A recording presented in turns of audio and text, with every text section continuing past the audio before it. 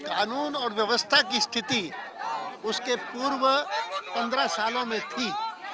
उसमें जो ज़मीन आसमान का अंतर आया, बिहार के एनडीए के पाँच साल के शासन में, उसका सीधा असर हर एक परिवार पर पड़ा।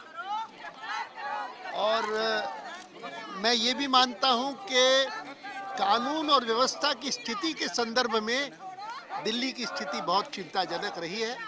और उसमें भी जो विषय आज भारतीय जनता पार्टी के महिला सांसदों ने उठाया है अर्थात महिलाओं की सुरक्षा वह एक गंभीर समस्या है। उसकी ओर दिल्ली प्रशासन को पूरा ध्यान देना चाहिए। नाकाम रहा है दिल्ली प्रशासन।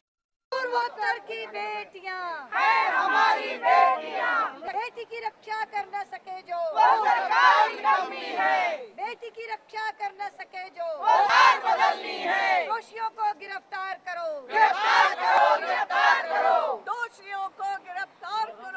गिरफ्तार